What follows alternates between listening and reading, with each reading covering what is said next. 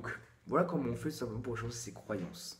Maintenant, une erreur qu'il faut, une erreur, juste une erreur qu'il ne faut pas faire, c'est tout simplement, eh bien, dans le processus de, l'établissement de cette euh, croyance, eh bien, vous allez avoir des gens qui vont, bah, pourquoi tu fais ça, etc., qui vont essayer de vous bah, remettre sur, euh, remettre euh, les pieds sur le terrain, quelque sorte.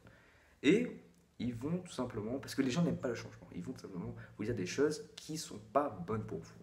Tout c'est quoi? C'est que, eh bien, si vous n'entretenez pas, comme j'ai dit, votre euh, croyance chaque jour, eh bien, ces gens-là vont vous dire des choses et ça va rester ancré en vous, ça va surpasser votre croyance que vous souhaitez établir.